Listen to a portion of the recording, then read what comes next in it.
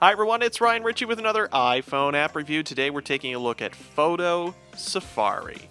Photo Safari, pretty cool little game, especially for the kids. Essentially, you're going to see a jungle scene here in a moment, and it is all nicely animated. We'll start with the games, and basically what's going to happen is there'll be a bunch of animals that pop up on the screen, and we're going to have to get a certain number of pictures of those animals within the time limit.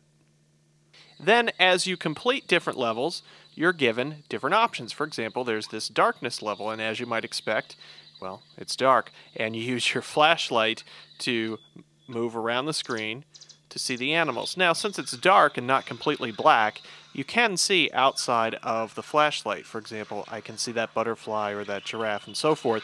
So, depending on how you actually play this, you might or might not use your flashlight. You might just kind of use what ambient light there is to take pictures of the animals. But at any rate, it's a fast-paced, fun game, lots of mini games with it. They're all the same kind of concept for the graphics and everything, and just 99 cents. Nice little game for the iPhone and iPod Touch. It's Photo Safari. For the DigitalLifestyle.tv, I'm Ryan Ritchie.